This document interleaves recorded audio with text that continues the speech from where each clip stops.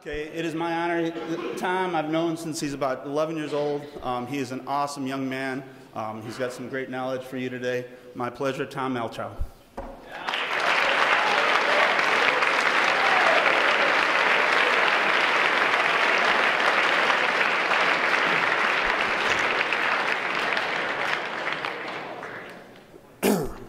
The last time I stood in this courtyard at formation, I stood here as Cadet Major Malchow.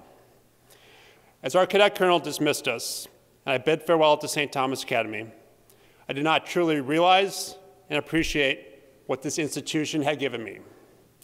STA gave me countless tools and skills to help with what I was soon going to experience in the next chapter of my life. Most people graduate from high school with an education that prepares them for college but the Academy prepared me to succeed in life and in college.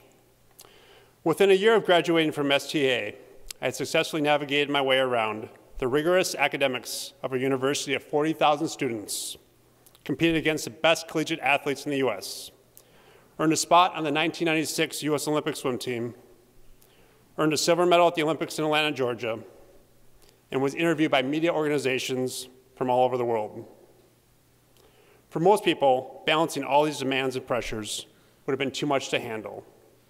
But for a 19 year old, one might say, impossible. St. Thomas Academy gave me the tools to make the impossible possible.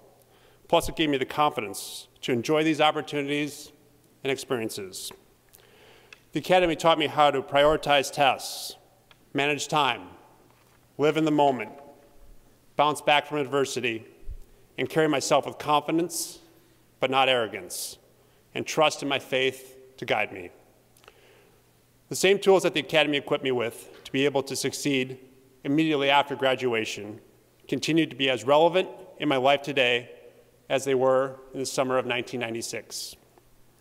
The ability to manage time, build a business, and have a strong, unwavering commitment to my family and faith will always be my top priorities.